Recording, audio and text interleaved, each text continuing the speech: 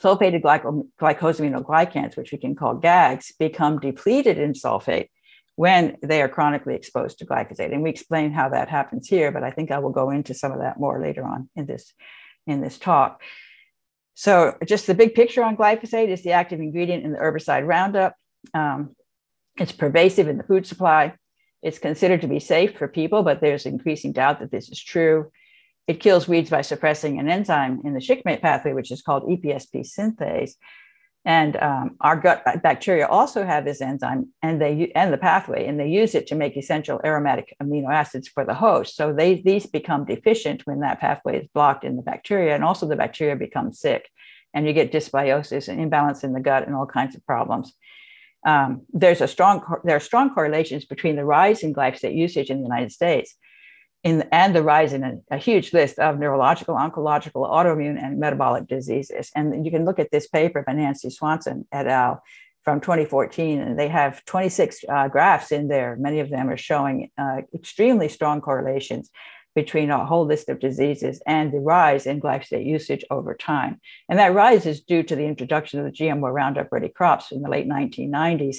And then uh, later on, they figured out they could use glyphosate as a desiccant on the non GMO crops. And so they became contaminated as well. The wheat and the oats and the barley and the chickpeas are all highly contaminated, even though they're not GMO crops.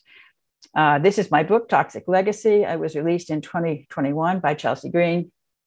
It, it, presents extensive data on glyphosate toxicity to animals and humans. And I should say, papers are coming out so fast and furiously these days, I can't keep up. Lots of people are realizing there's something very fishy about this molecule, and it's much worse than we had realized.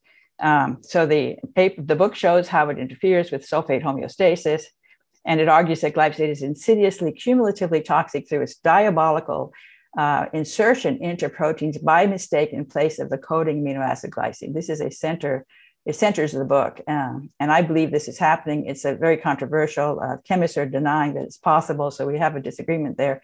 But I think if it's true, it explains the, uh, the unique diabolical aspect of glyphosate and how one chemical could cause so many uh, diseases. So here's sort of a schematic of what I'm proposing. What if glyphosate can insert into proteins by mistake in place of glycine? This is the famous DNA code. Every amino acid has a, code. In fact, glycine, the code for glycine is GGX. So this uh, third place can be all of the four nucleotides.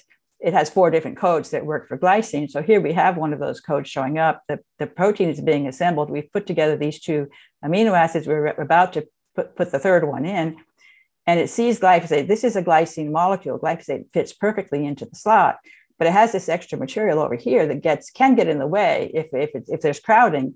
But in certain situations, there's room for it.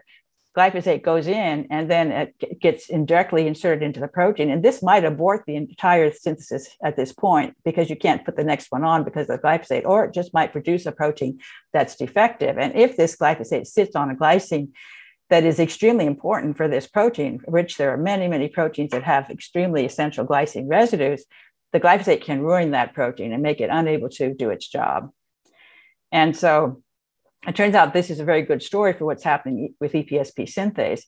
And multiple species of bacteria and multiple species of weeds have developed resistance to glyphosate by swapping out a crucial glycine residue in the enzyme EPSP synthase in the shikimate pathway, replacing it with alanine. So once you re- replace that glycine at the place where EPSP synthase binds phosphoenolpyruvate, um, the uh, if you replace that glycine with alanine, which is one extra methyl group, uh, glyphosate's dead in the water. It can't have any effect on that on that version of the protein. That's the basis for the GMO crops. So glyphosate kills plants by suppressing EPSP synthase. It blocks the synthesis. It blocks its binding to this to the phosphate in phosphoenolpyruvate. And it is a glycine molecule. It has this extra methylphosphonate unit. This is a methylphosphonate over here, and this is phosphate. And you can see these two are very, very similar. So this fits in the place which was reserved originally for the for the phosphate in PEP. Glyphosate puts its phosphate there, phosphonate there, and then the PEP can't get close. So the uh, enzyme doesn't work. And so and so this all, all makes sense to me. So many enzymes that glyphosate has been shown to suppress contain what I call a glyphosate susceptibility motif, which is that they bind phosphate at a site where there is at least one highly conserved glycine. And this turns out to be the case for many very, very important proteins. and in fact, many proteins that are involved in the deuterium uh, management. So um, I got interested in sulfate very early on with respect to autism. I figured that sulfate was impaired, sulfate management was impaired in autism. I figured that out before I even knew about glyphosate, just from reading the autism literature.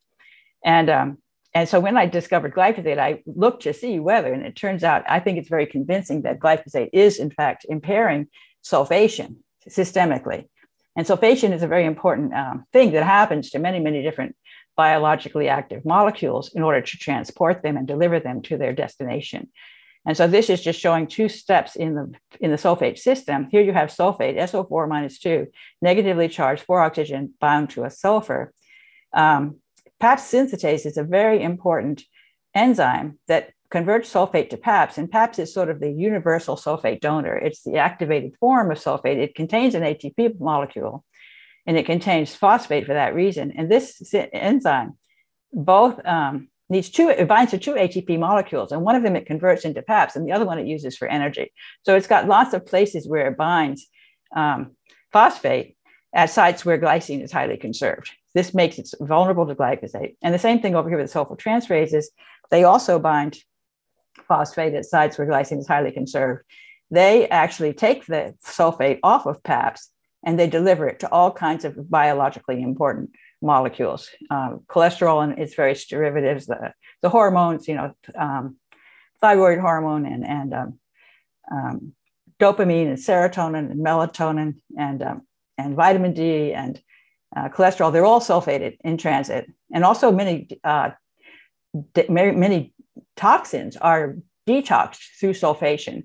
So when this is broken, especially when this sulfotransferase is broken, there's a lot of problems through systemically as a consequence of not being able to sulfate these molecules. So here's just showing all these different sulfotransferases from various animals and various forms, um, you know, rats and mice and humans, guinea pigs. Um, they all have this, this sequence, GXXGXXK, this motif, which has these two glycines, and that's at the, at the place where it binds phosphate. And so here we have um, sulfotransferases are crucial to attach sulfate anions to multiple bioactive molecules, the steroids, I mentioned all of these, the, uh, the sex hormones, vitamin D, chondroitin sulfate, heparin sulfate in the glycosaminoglycans, polyphenols and aromatics. And these are some of these important nutrients, curcumin, resveratrol, tryptophan, which is an aromatic amino acid, neurotransmitters. So all of these things are sulfated in transit. And if these sulfotransferases are broken, that's going to be a big problem for, for transporting and delivering these molecules. Um, so this gets into some of the uh, sulfate related to autism story. Uh, the role of heparin sulfate deficiency in autistic phenotype by these uh, by this author, these authors here, 2016. Um, and so they talked about ASD, autism, autism spectrum disorder, second most common developmental cause of disability in the United States.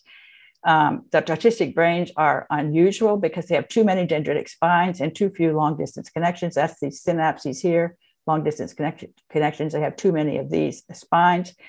Um, heparan sulfate in the brain ventricles plays a crucial role in neurodevelopment, and it regulates the uh, guidance of the axons and the dendritic spine formation.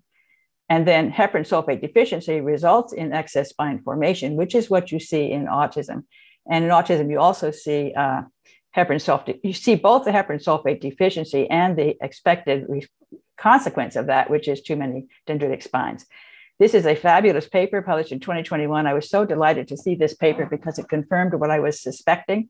And Rosemary Waring was a researcher who had worked with autistic kids in the 1990s, and she was proposing um, a defect in the ability to add sulfate to the phenols uh, in the gut, decreased phenol sulfotransferase activities. This is exactly what she was saying way back then.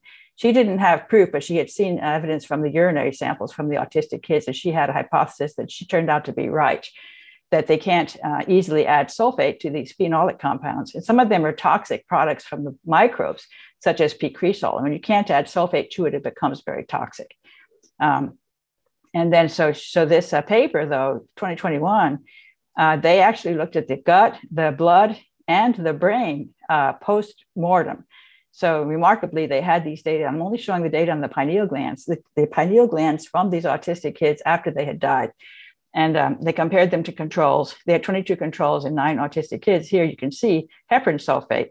The amount in the pineal gland is much, much higher. It's almost none in the autistic kids, which is quite remarkable. And then this is the enzyme that adds sulfate to heparin sulfate. It's a sulfotransferase for heparin sulfate. And again, the autistic kids had very low um, p value, very strong, very low levels of activity of this enzyme compared to the control. So I think this is really, really striking uh, result that kind of confirms my theory that I've been saying for quite some time about the sulfation problem in autism. Um, the third ventricle is depleted in heparin sulfate in association with autism in both humans and mice. And these are a couple of papers, one for the humans, one for the mice. And this is just sort of a picture of this third ventricle. These are these uh, waterways. The cerebrospinal fluid is inside these ventricles in the brain. And then the pineal gland. And so the heparin sulfate was depleted in here. The pineal gland is located right here. So it had severely depleted heparin sulfate in the last slide. It's all consistent because the pineal gland actually provides sulfate attached to melatonin uh, at night to, to, get you to sleep. So that melatonin enables sleep. It's, it's shipped into the cerebrospinal fluid attached to sulfate, and that sulfate, I suspect, gets delivered to the glycocalyx in here to help supply the heparin sulfate to the to the brain ventricles, which is much needed for the uh, development of the brain. Okay, so dissimilatory sulfate reduction is induced by glyphosate, and this is sort of um, based on enzymes. There's a, a, wonderful experiment here that I've consulted a lot where they have uh, long tables of enzymes that are suppressed, proteins that are suppressed by glyphosate. And this can help you in, in E. coli. They exposed E. coli to glyphosate and they looked at the suppression of many different proteins. And some that they found uh, were involved in assimilatory sulfate reduction in E. coli. And what that means is you're taking a sulfate uh, ion ion, which is which is um, uh, inorganic sulfur, and you're converting it into methionine, which is organic sulfur. And methionine is a, a very important amino acid, a sulfur-containing amino acid, the base of the sulfur-containing amino acid system, because it can be turned into cysteine and taurine and these other sulfur-containing amino acids. But methionine is also the universal methyl donor, so you get uh, problems with methylation pathways as well, as well with deficiency in methionine. But at the same time, because the assimilatory sulfate reduction is not working,